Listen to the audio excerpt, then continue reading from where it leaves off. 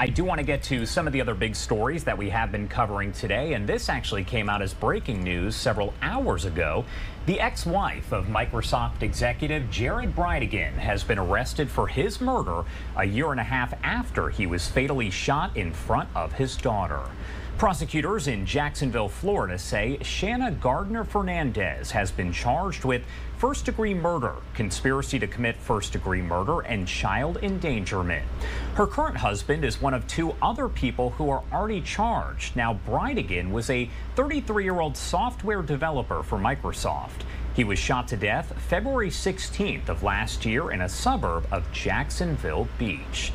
Silva Megerditchian is a Los Angeles-based criminal defense attorney and joins us now live to talk more about the case. Thank you so much for taking the time to be here. Thank you so much, Josh. Always a pleasure. Well, in this case, we were talking about it, is very bizarre. A lot of information has been coming in very slowly. Now we learn, of course, that the ex-wife faces several charges. One of them is murder. But can you tell me about those other two charges and what they indicate or don't indicate?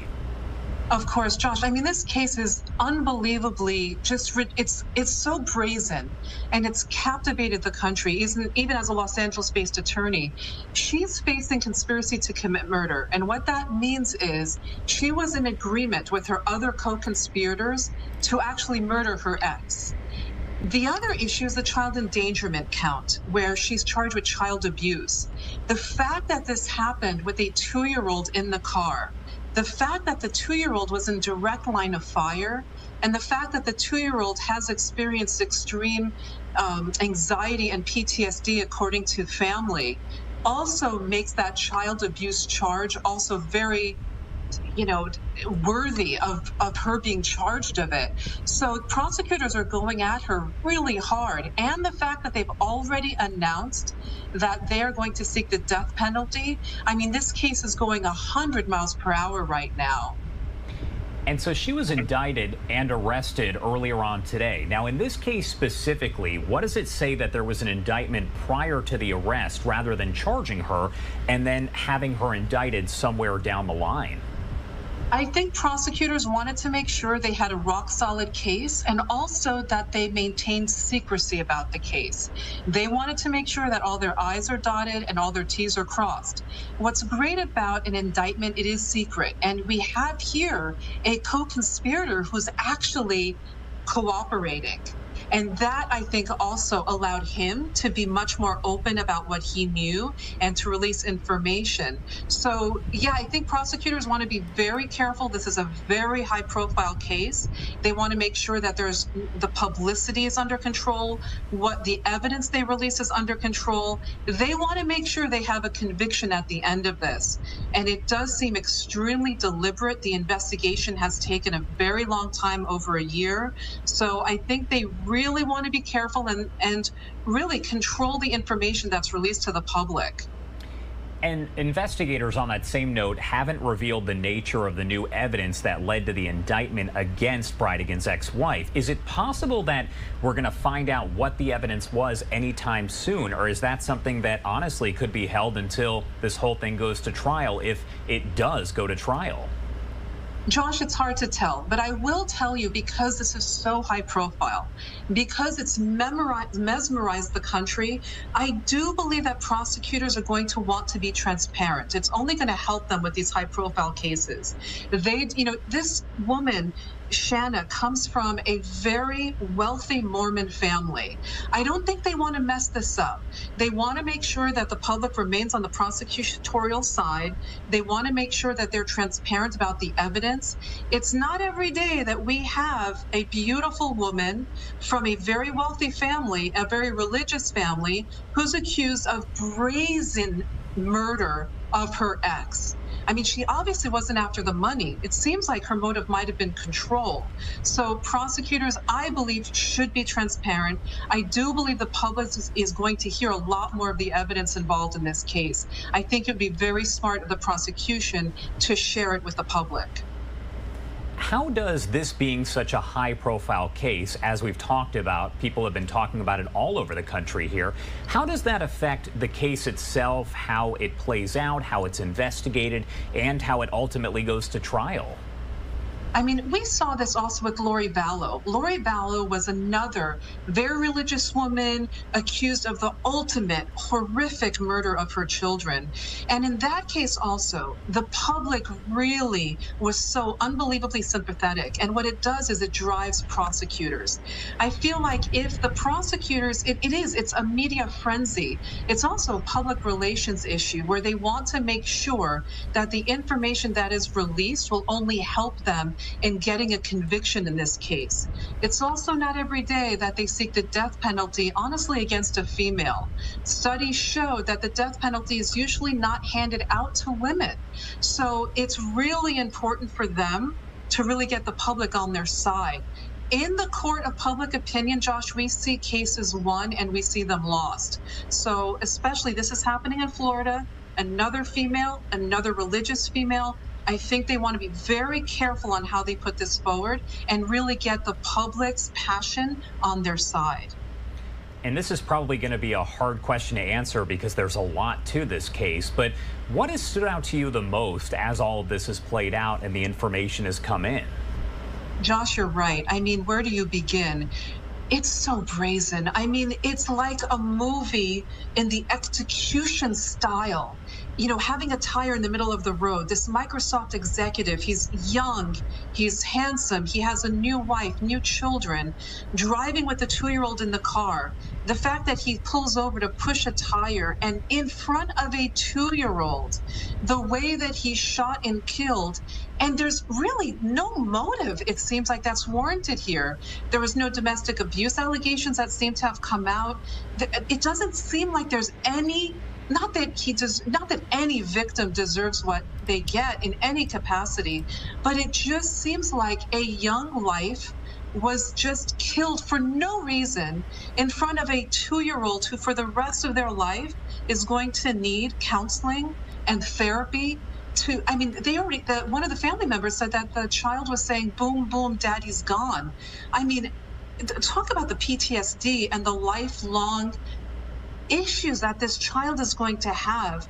It's just, I think all of that captivates us. And it's a soap opera of reality you just don't want to live through or believe could happen. I think that's what's so captivating. And as we mentioned, prosecutors at this point are going to seek the death penalty against her. How does that change the case? And really, how does that play out as the process moves forward? You know, it's just, I, I, think from both sides, the prosecutors have to make sure they put a rock solid ba- uh, case forward and also play on emotion of that jury and tell them this is a woman who deserves to lose her life for what she did. The defense is going to take it very differently. They're going to have to fight for her life. And as a defense attorney, there's a big difference between fighting for life in prison versus fight for your client's life. They're really going to have to put forward mitigation, evidence that shows that maybe she wasn't a co conspirator, they have to fight these charges like it's the only case they're fighting. And it sounds like she has the financial means to get the best possible defense out there. And trust me, Josh, we're going to hear from defense counsel. They're also going to want the public opinion on their side. They're going to want to show that this case is a case full of bias, that the prosecutors had it out for her, that she is this good woman that had nothing to do with this and maybe was roped into something. It is going to be a very intricate case. And I, just like your amazing audience, we're going to be waiting with bated breath to see what comes out. It's going to be one incredible trial. And my last question for you here is just what happens next? Where do we go from here? Yeah. Because we know there are now three suspects who have been charged in this case. So what is next? Are we getting closer to a trial if there even is one? You know, capital murder cases take time, Josh. This is going to be a while. I don't anticipate a trial for at least a year. If the defense does their job right, they're going to take their time and be very careful on what they do. Have all of the witnesses, all of the co conspirators, everyone's going to be looked into. They're going to try to clear their client as much as possible. I think in the weeks coming, we're going to have a lot more evidence coming out. What really connected her to this case and the charges is, that's going to come out. And trial preparation, I think if the defense is smart, we're going to have a couple of maybe press events where they will talk about or give the public a little bit of notice on what they're going to try to do to clear her name. And the other thing I'm going to say, as a tried and true 17 year old veteran in this game of criminal defense, she should not make any statements to the media. Every time we get someone that goes on ABC or any of these talk shows and they try to defend themselves, it's the best way to get an immediate conviction. She needs to stay silent and she needs to fight this case with her defense attorneys. And prosecutors need to only focus on the evidence because what it seems like to me is the evidence here sounds overwhelming. That's why they're going to the death penalty on this already and announced it so early. And I was going to ask you, what are the odds that this actually all goes to trial? But another question that comes to mind as we're talking about the death penalty, for the prosecution to say that they are going to seek the death penalty already, does that mean that a plea deal at this point is probably not going to be on the table? That's going to be the issue. So, if the defense is able to find countering evidence, the prosecutors are going to want to plead this early. They're not going to want to go to a trial where they could possibly lose or get something much less. However, if they have a rock solid case, if they have rock solid evidence, they are not going to settle for anything. But if there's any indication of a non death penalty plea, the defense is going to have to go straight to their client and tell them, look, if you lose in life, if you lose your trial, there is a possibility you will lose your life. And sometimes life in prison for most defendants is much better, of course, than getting a conviction and then sentenced to death. So there's going to be a lot of negotiating. But Josh, everything hinges on the evidence the prosecutors have. If they have enough, and they have a rock solid case, this will absolutely go to trial. They will not give any deals. They will want the conviction. So every day, this is going to be fascinating to see what comes out. All right, Silva Megerditchian, thank you so much for taking the time to join us here and help break it down. Anything you want to add before I let you go? You know, I, I, you know, as a defense attorney, you see everything, right? But cases like this, Josh, you just don't want to see. You don't want to see a woman with children killing their ex husband. You don't want to see husbands killing their wives. I, you just wish we come to a point where these kinds of crimes we don't need to comment on. They're so tragic, they're so unnecessary. It, it's, it breaks my heart. Um, but again, we're captivated. So, day by day, Josh, it's going to be incredible to see how the wheels of justice work. Um, and I think it gives also the public a really good indication of how our criminal justice system works and how justice is given in cases like this. So, just like everyone else, I'm definitely going to be listening in, and, you know, it's going to be fascinating. All right, Silva, thank you again for taking the time to join us here. Thank you, Josh. Always fantastic interviews, and I appreciate you and love the network. Thank you so much. Definitely appreciate you.